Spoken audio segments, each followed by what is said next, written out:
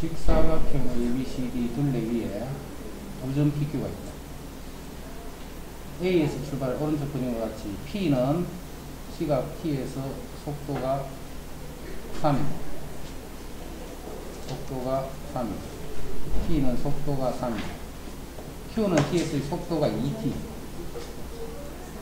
두 점 PQ가 동시에 출발하는 후세 번째 만나는 것은 몇 초 후인지를 봐라. 뭘 이래 어리, 거로 푸노?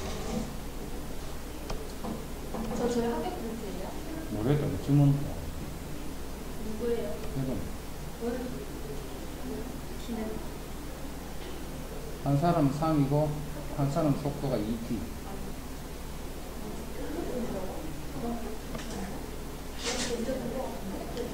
자, 한 사람은 속도가 3이지 3. 한 사람은 속도가 3이기 때문에 자, t초 후 움직인 거리야 움직인 거리.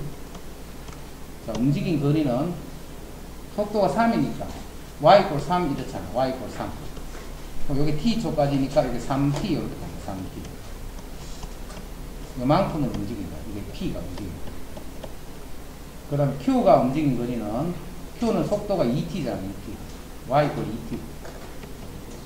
그런데 0부터 t까지 움직인 거리 요 넓이지. 속도가 이거는 넓이랬잖아. 그럼 요 넓이는 2분의 1 곱하기 밑변 t 곱하기 높이는 여기 t 집어넣으면 돼. t에 t 집어넣으면 2t란 말이지. 그리고 t 제곱이 됩니다. t 제곱. 그래서 q는 t초 후 움직인 거리가 t 제곱이 됩니다. t 제곱. 근데 한 사람은 이렇게 가고 한 사람은 이렇게 가. 출발 후세 번째 만나는 것은 몇 초 후인가? 아 머리 아프네. 한 사람은 이렇게 가고 첫 번째 만나는 요 길이는 자, 요 사람은 t초 동안의 간 거리가 t 제곱이지. t 제곱. 그 다음 요 사람이 간 거리는 3t야. 3t.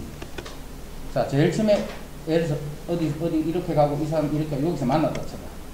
만났다 치면 한 사람 요렇게 와서 만났고 한 사람 요렇게 와서 여기서 처음부터 만나. 자, 만나게 되면 두 사람이 만난 거리의 합이 어떻게 돼? 전체 둘레와 같았다. 두 사람이 만난 거리의 합, 움직인 거리의 합이 전체 둘레와 같았다. 전체.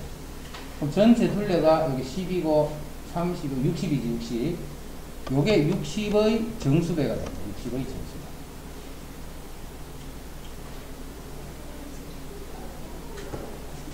이랬나? 요게 60의 정수배야. 그럼 시각 t는 움직이고 나서잖아, 그지? 움직이고 나서.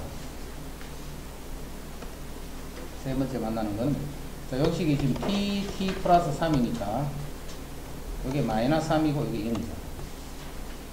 자, 그거하고, 60n하고, 60n. 그럼 이제, n이 1일 때, 60일 때한 만나, 60일. 지금 세 번째 만나는 거는 60일 때, 그 다음에 120이 될 때. 180이 될 때.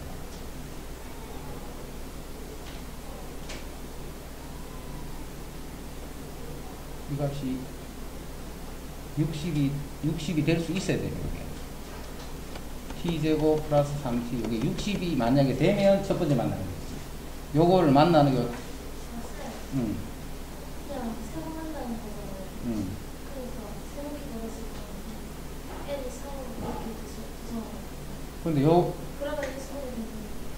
잠깐만, 요 식이 60이 되면 되지. 잠깐만, 60이 되면. 한 바퀴, 처음으로 만나는 게 60이잖아. 요거 한 바퀴가, 요, 요 합치면 다 60이니까. 요게 간거리 합이잖아. 요게 간거리 합, 합이 60이 돼야 되지. 60이 될 때 처음으로 만나는 처음으로. 그럼 요게 60이 되려면 t가 얼마고? T 제곱 플러스 3t 마이너스 62야.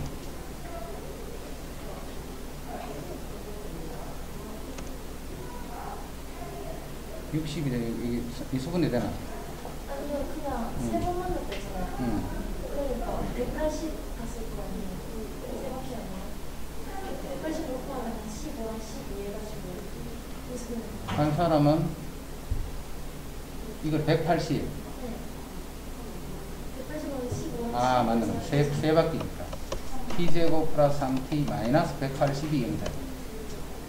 음, t 플러스 15 곱하기 t 마이너스 15에서 15, 12하면 180이가. 네, 요게 플러스고 요게 마이너스네, 그지? t는 12초가 돼. 답이.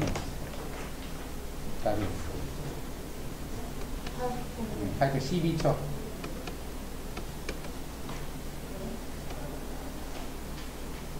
두 사람이 간 거리는 한 사람은 t초 동안에 이만큼 가고 한 사람은 t초 동안에 이만큼 가고 그래서 세 번 만나니까 한 번 만날 때마다 두 사람이 거리 합이 나온다. 이 전체 둘레가. 그럼 두 바퀴, 세 바퀴니까 간 거리 합이 180이 돼. 그럼 180이 되는 t를 180이 되는 t. 아, 맞는 것